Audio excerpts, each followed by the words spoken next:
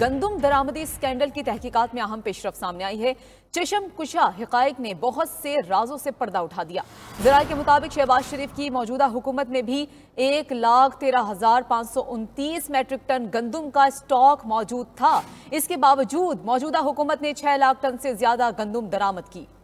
یہ اضافی گندم کی درامت نگراں حکومت کے فیصلے کے تحت موجودہ حکومت میں بھی جاری رکھی گئی۔ سابق secretary captain retired Asif Mahmood نے وزیر اعظم کو حقائق سے لا علم رکھا۔ اس پر مزید بات کریں گے رانا طارق سے۔ رانا طارق، بتائیے گا کون کون سے راز سامنے آئے ہیں؟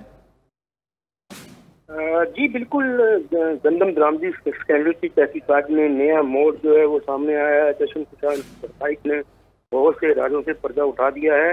شہباز شریف کی موجودہ حکومت آنے کے موقع پر بھی ایک لاکھ تیرہ ہزار پانچ سو انتیس میٹرک ٹن گندم کا کیری فارورڈ اسٹاک جو ہے وہ موجود تھا۔ اس کے باوجود موجودہ حکومت کے دور میں چھ لاکھ ٹن سے زیادہ گندم جو ہے وہ درامد کی گئی۔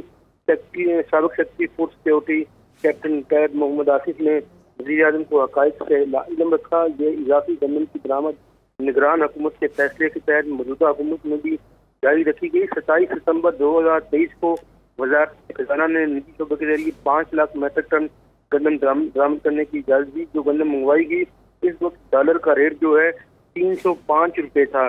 درامدی گندم بندرگاہ پر ترانوے اشاریہ آٹھ سو بیس روپے فی کلو میں بڑی، جبکہ پہلی انکوائری رپورٹ نگران حکومت میں جس طرح گندم درامد کرنے کا فیصلہ ہوتا رہا، ان تمام مراحل کا جو ہے وہ ذکر کیا گیا۔ ہے سابق secretary food security captain retire Muhammad Mahmood نے گندم کے اسٹریٹجک ذخائر کو یقینی بنانے کے لیے گندم درامد کرنے کی سمجھ نگران وزیر کو بھجوائی تھی وزارت بحری امور کو ہدایت کی گئی کہ وہ درامدی گندم کی بندرگاہ پر پہنچ کو یقینی بنائے۔ اس پر سابق نگران وزیر اعظم انوار الحق کاکر نے چار ستمبر دو ہزار تیئیس کو پانچ لاکھ میٹرک ٹن گندم درامد کرنے کی باضابطہ طور پر منظوری دی اور یہ منظوری جو ہے، اس وقت کی نگران وفاقی کابینہ سے سرکولر سمری کے ذریعے لی گئی تھی۔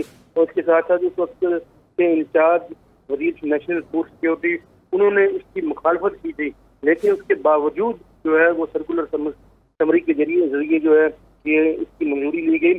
اس کی اجازت نامے میں ضرورت بننے اسمبلی پر نظر ثانی کا آپشن بھی جو ہے وہ رکھا گیا تھا۔ گزشتہ سال صوبوں سے گندم کی خریداری کا ہدف پچہتر فیصد حاصل ہوا اور اس رپورٹ میں یہ بھی کہا گیا ہے کہ پانچ اکتوبر دو ہزار تیئیس کو ملک کے بڑے شہروں میں آٹے اور گندم کے اسٹاف کا بھی جو ہے وہ ذکر کیا گیا ہے۔ اس کے علاوہ رپورٹ میں درامدی، گندم کی قیمت اور عالمی منڈی میں اس کے نرخوں اور پاکستان آمد پر اخراجات کی تصویر بھی جو ہے وہ شامل کی گئی ہے۔ لیکن چاروں صوبوں میں دو ہزار تیئیس کے دوران گندم کی پیداوار کا ہدف جو ہے اٹھائیس اشاریہ اٹھارہ ملین میٹرک ٹن لگایا گیا تھا۔ لیکن انکوائری میں ثابت ہو گیا کہ دو ہزار بائیس تیئیس کے دوران بھی پورے پاکستان میں سولہ لاکھ تیس ہزار میٹرک ٹن گندم جو ہے وہ کیری فارورڈ کے طور پر موجود تھی۔ اس کے ساتھ دو سال دو ہزار تیئیس میں چوبیس میں بھی پاک فوج کے لیے گندم کا کوٹا جو ہے وہ ایک لاکھ ستر ہزار میٹرک ٹن پاک فضائیہ کے لیے دس ہزار پانچ سو میٹرک ٹن اور پاکستان نیوی کے لیے جو ہے وہ دو ہزار پانچ سو میٹرک ٹن کوٹا جو ہے وہ کیا گیا تھا۔ لیکن کے لیے جو ہے وہ چودہ لاکھ میٹرک ٹن بلوچستان کے لیے دو لاکھ اور آزاد کشمیر کے لیے تین لاکھ میٹرک ٹن کیا گیا تھا۔ جی۔